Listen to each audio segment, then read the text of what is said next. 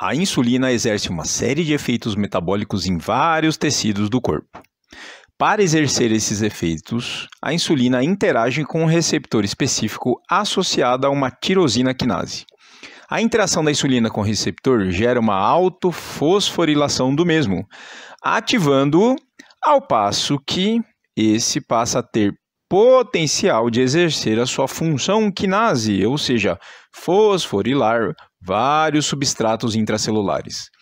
Entre esses elementos intracelulares, que são alvos de fosforilação, há um grupo especial de proteínas citoplasmáticas chamadas de IRS, que é a sigla de substratos do receptor de insulina.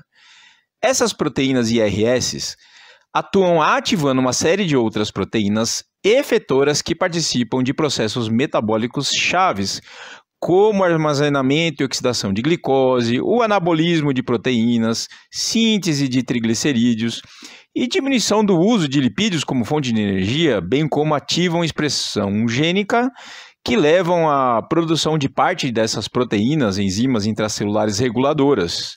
E por fim, participam também dos processos de crescimento durante a vida intrauterina. O que acabamos de ver, resumidamente, indica que as ações da insulina são bem complexas e, quando agem sobre seus alvos celulares, envolvem inúmeros processos enzimáticos e estruturais diferentes. Devido a isso, vamos nos ater aos fenômenos considerando seus aspectos mais macros, mais globais aqui. Vamos inicialmente falar do fígado, né, os efeitos da insulina no fígado. As veias de escoamento de sangue do pâncreas conduzem sangue diretamente do pâncreas para o fígado. Ou seja, antes da secreção endócrina pancreática atingir a circulação sistêmica, tem que passar necessariamente pelo fígado. Nesse sentido, a insulina tem o fígado como tecido-alvo. Mas, nessa primeira passagem por ele, né, pelo fígado, temos também significativa degradação de insulina. Se medirmos a concentração plasmática de insulina na veia porta hepática, ou seja, antes do fígado, e na veia cava, portanto, após o fígado, ou mesmo em outra veia mais distante, sei lá, veia braquial no braço, veremos uma queda drástica na concentração de insulina. Muito bem.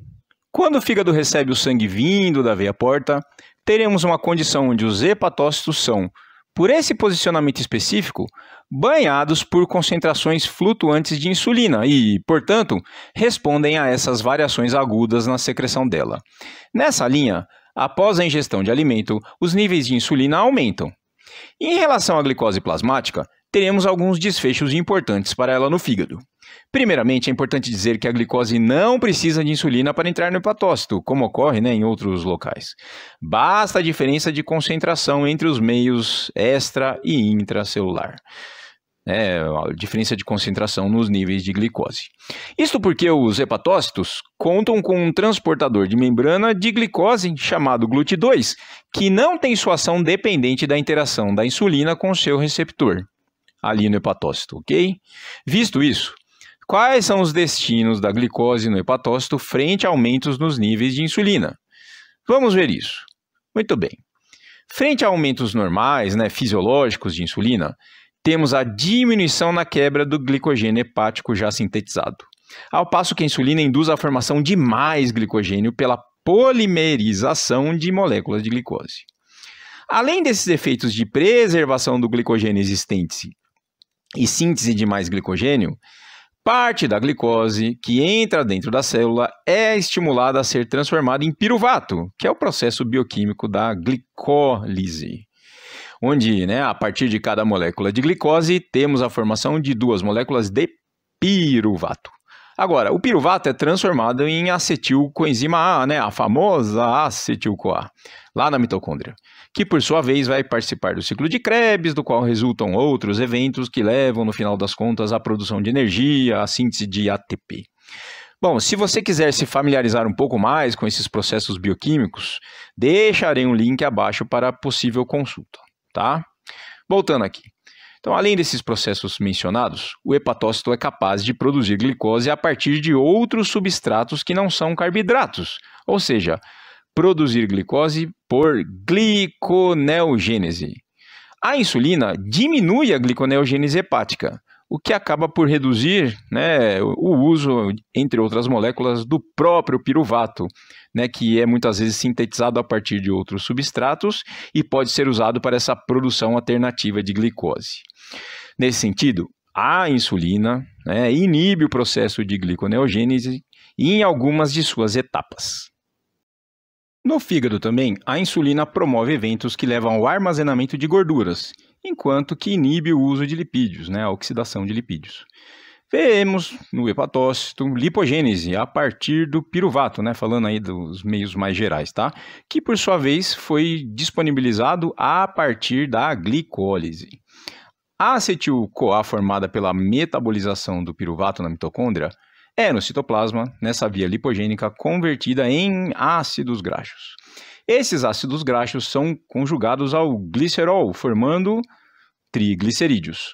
O fígado armazena um pouco desses triglicerídeos em gotas lipídicas citoplasmáticas, mas uma grande parte é sintetizada e exportada via a partícula de VLDL, ou seja, a lipoproteína de baixíssima densidade, né? o famoso VLDL cujos lipídios presentes podem ser capturados pelo tecido adiposo, que podem armazená-los, ou mesmo né, capturado ali uma vez livres, né, no caso aí dos ácidos graxos, por exemplo, é, pelos músculos, né, pode ser capturado pelos músculos, dependendo do contexto, e oxidá-los prontamente para a produção de energia.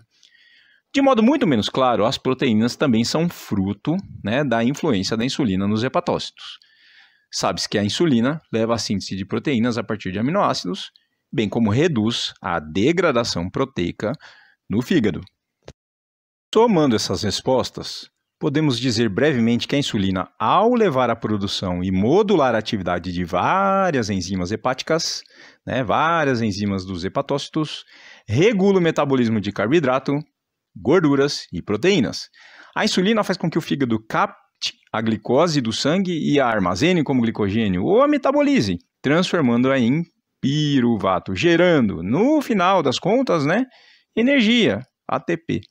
Ainda, o piruvato pode ser também né, blocos fundamentais oriundos da glicose. Blocos para quê? Para que seja produzido gorduras, para que seja sintetizado triglicerídeos. E embora o fígado use as gorduras como fonte majoritária de energia, sob a ação da insulina, a oxidação lipídica reduz, fica reduzida. Como consequência, podemos dizer que a insulina no fígado e em outros tecidos do corpo faz com que ocorra a utilização de glicose como seu combustível preferencial.